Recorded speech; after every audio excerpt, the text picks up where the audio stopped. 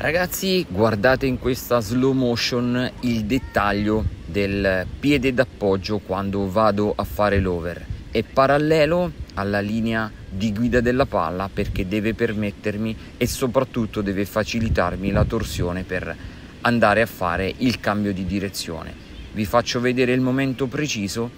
Eccolo, guardate come è in linea con la direzione palla perché devo essere facilitato nell'andare a fare la torsione per cambiare direzione.